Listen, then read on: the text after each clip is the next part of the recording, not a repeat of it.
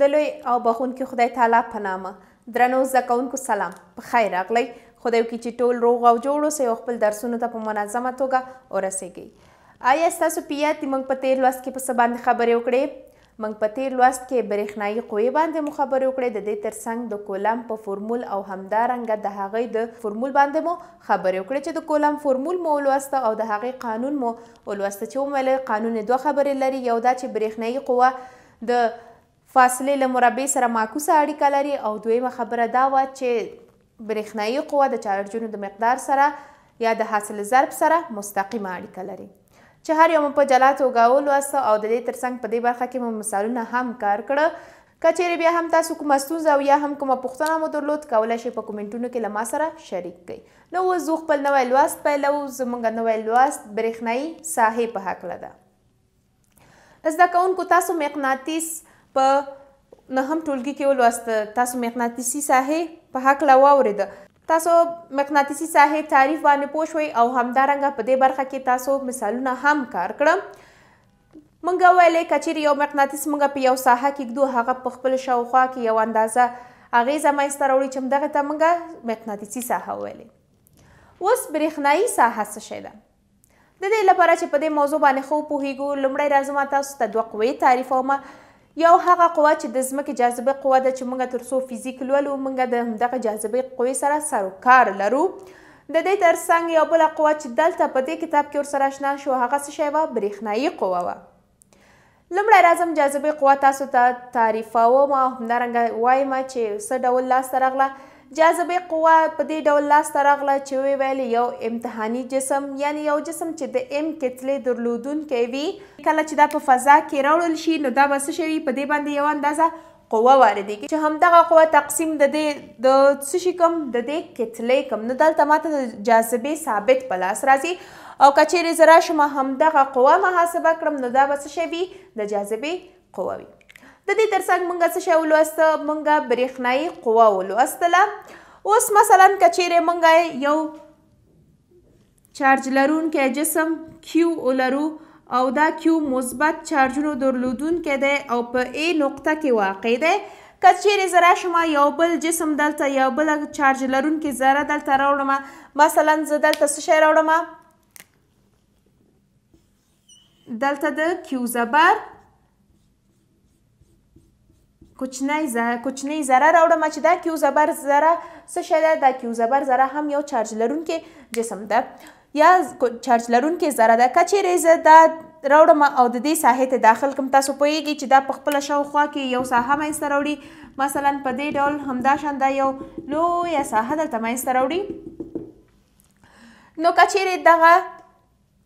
ذره د دې ساحې په داخل کې اوسیږي د همدغې یا مثبت کیو یا د لوی کیو نه هغه په واسطه د اغیزې په واسطه په دې باندې یو اغیزه واردیږي او په دې باندې یو قوه واردیږي اوس دلته څو پوښتنې رامنځته کیږي هغه دا چې وي کچېرې مونږ دغه کیو ذره چې چارج لرونکې ده او په دې کیو زبر باندې تاثیر کړی اغیزه یې کړې که چیرې وي موږ دا ذره له دې ځای څخه لرې کو آیا دغه اغیزه بیا هم په کیو زبر باندې شتون لري او یا هم که چیرې دا کیو زبر ذره زه له دې ساحې څخه لرې کوم او یو لرې فاصله کې د دې سره کېدم آیا دا اغیزه بیا هم په دې باندې شتون لري د دې ترڅنګ څو مثالونه یا څو سوالونه نور هم دي چې دلته باید مونږ هغه ته ځواب وایو نو زه راځم دا برېښنايي ساحه تاسو ته په ساده ډول تعریفوم وایم چې کله چې یو برېښنايي چارج یو ساحه کې شتون لري دا په خپل شاوخوا کې څه شي یو اغیزه رامنځته کوي چې همدغه اغیزې ته موږ څه شی وایو برېښنايي ساحه وایو برېښنايي چارج په خپل شاوخوا کې یو اغیزه رامنځته کوي چې همغه ته موږ برېښنايي ساحه وایو ډیر لنډ ډیر ساده اوس همدغه برېښنايي چارج چې په خپل شاوخوا کې برېښنايي ساحه رامنځته کوي دا موږ په څه ډول تعریفوو نو برېښنايي ساحې لپاره تعریف موږ په دا ډول کوو وایو چې په هره نقطه کې چې مثبت واحد چارج شتون لري یعنی مثبت چارج شتون لري دی باندې په همغه نقطه کې یو اندازه قوه واردېږي چې موږ همدغه قوې ته یا هم په همدغه نقطه کې مونږ وایو چې څه شی ده؟ برېښنايي ساحه ده. یعنې همدغه نقطه کې چې قوه وارده شوې همدغې ته مونږ برېښنايي ساحه وایو. په هره نقطه کې چې مثبت واحد چارج شتون لري یعنې هره ساحه کې چې مثبت چارج شتون لري په دې باندې قوه واردېږي. همدغه نقطه کې چې په دې باندې قوه وارده شوې مونږ څه شی وایو؟ برېښنايي ساحه دلته شتون لري. که چېرې زه راشم تاسو ته دوه ذرې یا چارج لرونکې ذرې تاسو ته ترسیم کوم او د هغې له مخې تاسو ته د تعریف کوم که چیرې زه یو چارج ولرم د کیو چارج او همدارنګه دا له ځان څخه څه شی لري برېښنایي ساحه لري یعنې په خپل شاوخوا کې یو اغېزه رامنځته کړي دلته که چیرې یو بله ذره زه راوړم او ووایم چې د کیو زبر او یا هم مثبت کیو چارج مثبت ما وویل چې مثبت چارج په دې دا به په دې باندې یو اندازه قوه واردوي او همدارنګه دا قوه له دې ځای څخه هم کېدای شي تیر شي نو دې ته موږ څه شوی همدغه قوې ته موږ ای وایو ځکه دا قوه ده نو جهت درلودونکی ده نو په دې ډول زه راځم د دغه دوه ذرو ترمنځ چې وغواړم برېښنایي ساحه محاسبه کړم نو زه وایم چې برېښنایي ساحه مساوي کېږي د وارده شوې قوه پر چارج باندې وارده شوې قوه پر چارج باندې په دې توګه زه کولای شم له دې ځای څخه برېښنايي ساحه محاسبه کړم. لکه څرنګه چې زده کوونکو تاسو ګورئ ما برېښنايي ساحې د پاسه هم یو ویکتور رسم کړی او د دې تر څنګ د قوې د پاسه مې هم یو ویکتور رسم کړی او که چېرې راشم او وګورم چې دا څه ډول یو کمیت دی دا یو ویکتوري کمیت دی د دې تر څنګ که چېرې زه وغواړم د دې لپاره واحد تعین کړم نو زه وایم چې دا د دې واحد څه شی دی نیوټن دی او د دې واحد څه شی دی کولم دی نو د برېښنايي ساحې واحد څه شی دی نیوټن پر کولم او همدارنګه موږ پوهیږو چې برېښنايي ساحه یو وکټوري کمیت دی نو زده کوونکو د دې لپاره چې په دې موضوع باندې خو پوهیږو په کتاب کې موږ ته ځینې مثالونه راکړ شوي دي راځي چې دغه مثالونه یو ځای سره کار کوو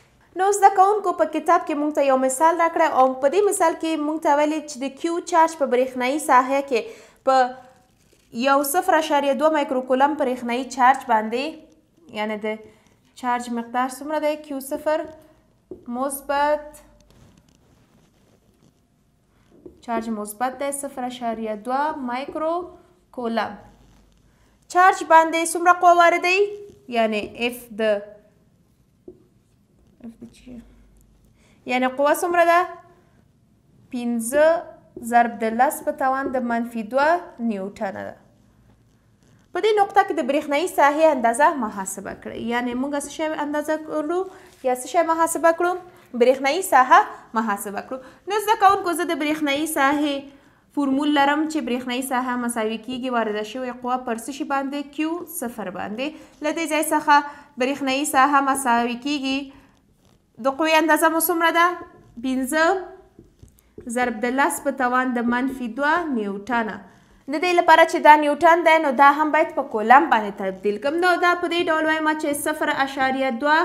د مایکرو قیمت څو دی ضرب د لس په توان د منفی شپږ کولم اوس له دی ځای څخه دا صفر اعشاریه دوه دی زه دا په څه شی باندی اړومه زه دا په علمی طریقی باندی ګټه اخیستنی دا په دی ډول لیکم دوه ضرب د لس په توان د منفی اوه کولم دوه ضرب د لس په توان د منفی اوه کولم به رازم په دغه برخه کی لیکم وایم چه دوه ضرب د لس په توان د منفی اوه کولم له دې ځای څخه پنځه تقسیم د دوه څو کېږي دوه اشاریه پنځه ضرب د لس په توان د منفي دوه او منفي اوه که چیرې دا صورت ته راشي دا څه کېږي مثبت اوه کېږي دوه ترېنه لاړ شي پنځه نیوټن پر کولم یعنې دغه مقدار څه شی ده یعنی دغه مقدار دلته برېښنایی ساحه شتون لري چې 2.15 ضرب د لس په توان د 15 نیوټن پر کولم له همدغه له مخې موږ کولی شو چې نور قیمتونه هم ورکړو او دلته برېښنایی ساحه محاسبه کړو او یا هم موږ کولی شو برېښنایی ساحه ځان ته معلومه کړو قوه نامعلومه کړو او یا هم کولی شو قوه او برېښنایی ساحه معلومه کړو دلته څه شی نامعلوم کړو او دلته موږ کولمب نامعلوم کړو یعنی چارج مقدار نامعلوم کړو نو زده کوونکو موږ راغلو نن په دې باندې وغږیدلو چې برېښنايي ساحه څه ته وایي او څنګه کولای شو برېښنايي ساحه تعریف کو د دې ترڅنګ د برېښنايي ساحې لپاره مو فرمول هم وټاکه چې د دې فرمول لمخې موږ کولای شو برېښنايي ساحه محاسبه کړو نو دا و زموږ د نن ورځې لوست. که چېرې زده کوونکو تاسو هم تاسو بیا هم په کومه برخه پوه شوي نه وئ او یا هم کومه ستونزه مو درلود کولای شئ په کمنټونو کې له ما سره شریک کړئ زه به ستاسو ستونزو ته او همدارنګه ستاسو پوښتنو ته ځواب نو زموږ د نن ورځ فزیک لوست همدلته پای ته ورسېده تر بیا د فزیک نوي لوسته پورې ټول په لوی څښتن تعالی سپارم الله مو مل شه.